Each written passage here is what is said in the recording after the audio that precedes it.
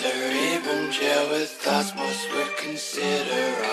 odd To think you're